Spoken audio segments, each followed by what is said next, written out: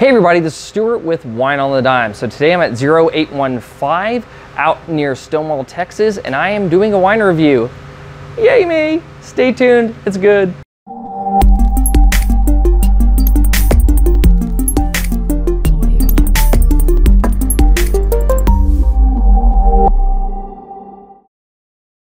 Hey everybody, like I said, I am at 0815 out near Stonewall, Texas, and I am here reviewing a very special white wine. The reason why it's special is because it is a white wine blend that I have never seen before. It is 50% Muscat Canelli and 50% Muscat Blanc. So it's a very interesting wine. I'm very excited to try it. And yeah, let's get going. So from a color standpoint, it's a very, it's, it's sort of like a golden color. It's, it's a little bit less dense than a Chardonnay, but very similar in terms of the color profile on that.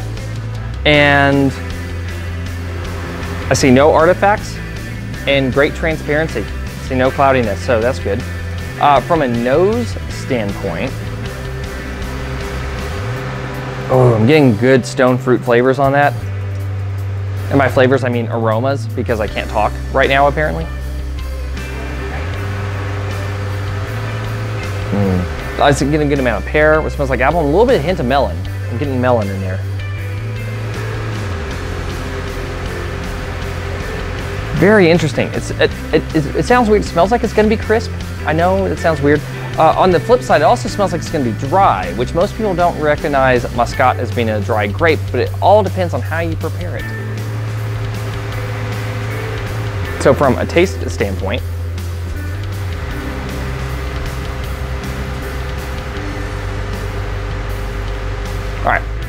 so there's a little bit of residual sugar that's, uh, that's there. You can definitely taste on the palate, but especially compared to most muscats that you're gonna find, it is a dry grape.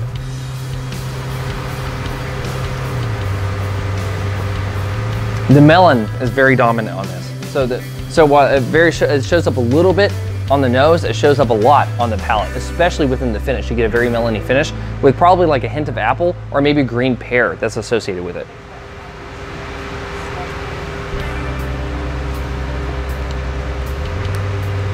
Yeah. This is, uh, so, okay, so rating. From a rating perspective. Uh, using the new scale that I've been advertising a lot, um, I'm gonna rate this a good. This is a definitely a good wine, especially for the money. Uh, this wine is $23 a bottle. And as I said, per normal wine on the dime kind of guidance, there's a lot of times where you're not going to find a wine under $15 when you go to a winery. But you know what? That's okay because you're there for the experience, you're there for the wine, and you're there for and you're there for wine club exclusive experiences. So definitely, if you have a chance, stop by 0815. It's a very great winery. We're going to be planting a lot of new vines soon, especially Sangiovese if you're interested in that. And I definitely recommend you stop by and try some of their stuff, especially the Scott blend and their rosé. The rosé is really solid, and their Mourvèdre. Their Mourvèdre is good too. A lot of their stuff is good. Just stop by the winery and try it all out. Anyway, this is Mr. Stuart with Wine on the Dime. If you like today's video, please like, subscribe, and comment.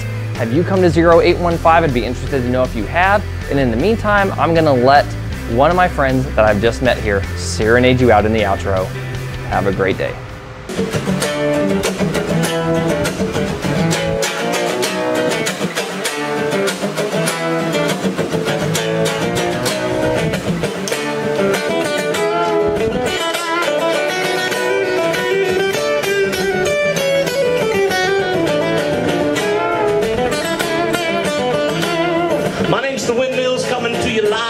From the 0815.